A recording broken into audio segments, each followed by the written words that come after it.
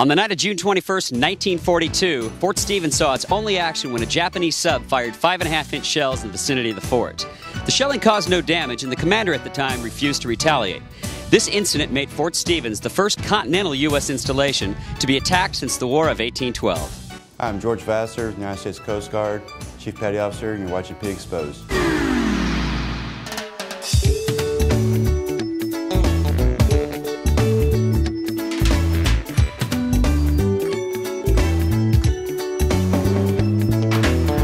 Now, this is the kind of interview that I like to do. We're with Ken Wilson down here in the Cabernet room of the Hotel Elliott. Tell us about the Cabernet room and tell us about what we're about to do. What we do down here is we sample wine. Uh, we do periodic wine tastings from various Northwest wines. Uh, we try and feature Northwest wines here. What we've got with us here now is a Cabernet from uh, Washington State, Dunham Cellars. Very good cab. Cheers. So tell us about this room then. There's a, there's a movie theme. You've got a cigar room down here. Uh, people go in and have a good cigar, enjoy a glass of wine, relax. Very popular. Surprisingly popular with the women, which surprised me.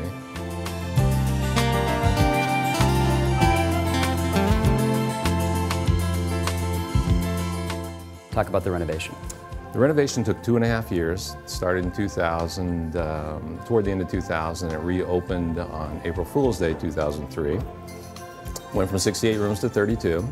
With the 68 rooms, there were two bathrooms on each floor.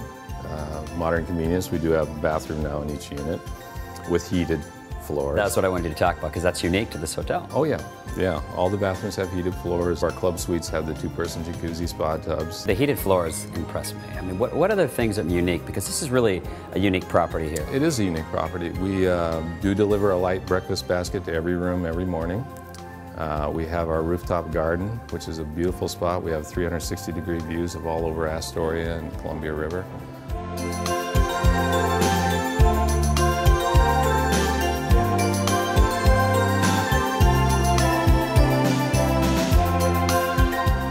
There's several nice places to go in the evening, uh, down on the river or around here, right across the street from us. The Schooner is a great place to hang out. Great food, great. And they also deliver your room service. They do room service for us. They deliver right down here to the bar. They have a nice little appetizer menu here with some great uh, crab and fondue and other entries there that are really good. Because I'm kind of thinking here with the wine, and it's you know it's that time of day where maybe a little room service might be a good call. And I'll tell you what, if I if I bring a special lady to the Hotel Elliott, I'm probably not going to want to leave the room.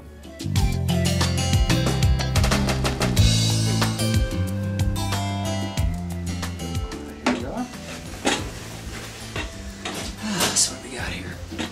Jamaican jerk chicken, Nice. Dungeness crab cakes. Thanks for housing us. Thanks for coming. We look forward to having you. Over 15 Hollywood blockbusters have been filmed here in the Astoria area, including Kindergarten Cop, Short Circuit, Free Willy, most recently The Ring 2, and filmed right here in this house behind me, cult classic, The Goonies. Come see the new additions at the Schooner Restaurant. You're watching PDXposed.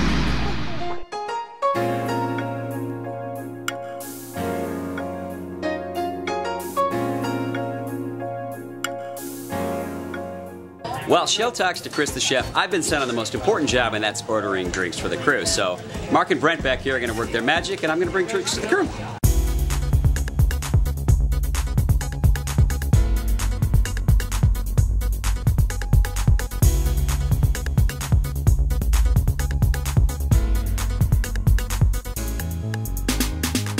You brought us six entrees. We had the wild salmon uh, seared with a uh, balsamic honey sauce, and then it came on some haystack sweet potatoes and wilted spinach. We had a seafood trio pasta that came with a penne pasta.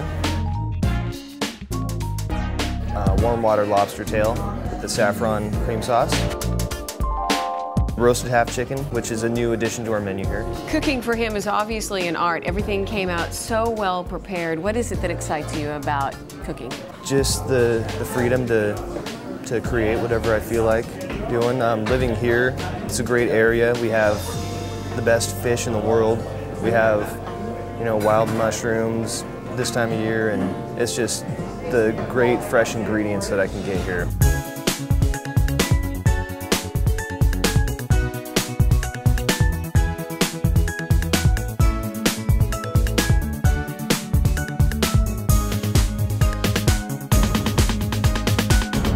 Thank you so much for having us tonight at the schooner. It's been my pleasure. Lewis and Clark camped near Astoria in the winter of 1805 and 1806, establishing Fort Clatsop, the first U.S. military post west of the Rockies. Let's make some fire. It's kind of cool.